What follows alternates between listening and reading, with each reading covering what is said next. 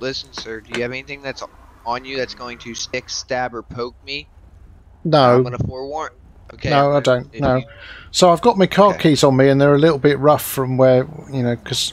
But there's, I mean, it won't hurt. It's just a little bit rough. That's all.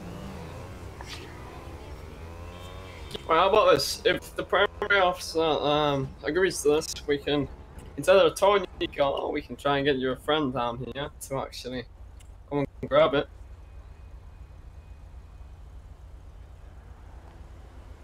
What do you think about that? Officer Cody. I'm fine with that. So what do you think about that? Do you have any friends, family that can come and grab it?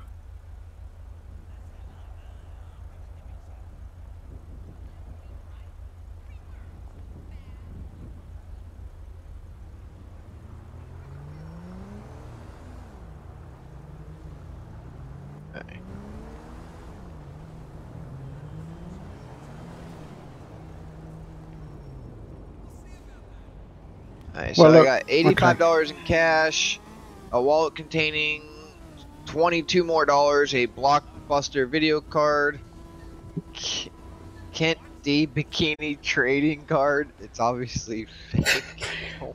Let's go, sir.